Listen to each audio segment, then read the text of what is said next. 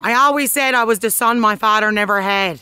And I got two brothers, but who did he call to help him lift a motor out of a car? Me, in a dress. I posted a silly video about my dad asking me to help lift an engine out of a vehicle. Now, my father had all the work done. The engine was ready to come out. We just had to pull it with the hoist, right? Which is manual. So it's still a lot of work, because I don't know if you noticed, but engines aren't fucking light. Men are losing it. They're freaking out. They're so mad over this. Oh, why are your hands clean? Yeah, like I'm to climb inside a vehicle in a dress and loosen the engine.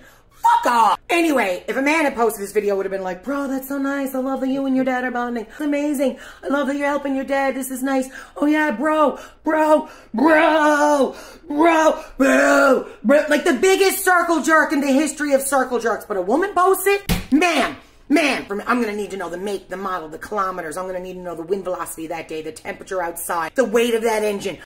Look, I don't know why you're so pressed by this. I didn't go over and pull the engine out of your car. I didn't fuck your wife. There's something about a strong woman that makes certain men feel like their dick is going to shrink. Look, fellas, that little D energy, yeah, that's that's not literal. That's like it's it's a lifestyle, and you've chosen to live it.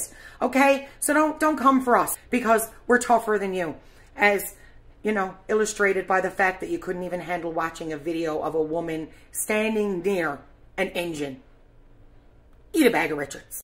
And don't come at me in the comments and tell me I'm fat or ugly or anything else. Fuck off. So tired of these mediocre pricks jumping into my comments and telling me I'm fat. Meanwhile, Skipper here hasn't seen his dick in 30 years. Yeah, fupas? Not just for women.